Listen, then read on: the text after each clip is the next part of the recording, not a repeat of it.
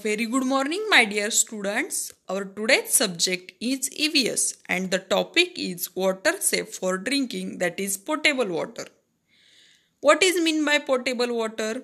Water that does not endanger our health in any way when we drink it is called safe drinking water or potable water. Drinking water must be safe for our health. Pure water has no taste, smell, or color. If water has a color or a foul smell, one must avoid drinking it. In order to obtain clean water, muddy water is allowed to settle. After settling, the water is cleaned further by swirling alum in it or by filtration. Its muddiness disappears and the water looks clean and transparent. Microorganism Microorganism is a living thing that cannot be seen by the naked eye or even with a magnifying glass. Microscope Microscope is an instrument for looking at very very small things which we cannot see with our eyes or even through a magnifying glass is called microscope.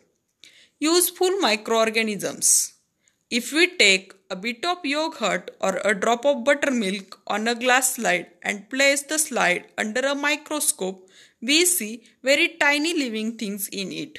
They are called microorganisms. These microorganisms convert milk into yogurt. They are useful for us. Harmful microorganisms. All microorganisms are not useful. Some microorganisms cause disease when they enter our body.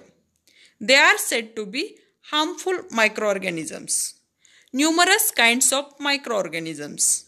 There are numerous kinds of microorganisms around us.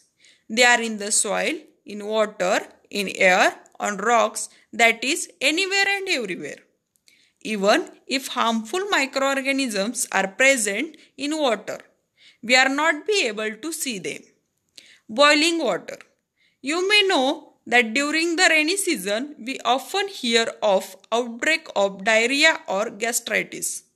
At such time we need to boil the water that has been cleaned by settling and filtration. Boiling the water kills the microorganisms in it and prevent diseases. Thank you.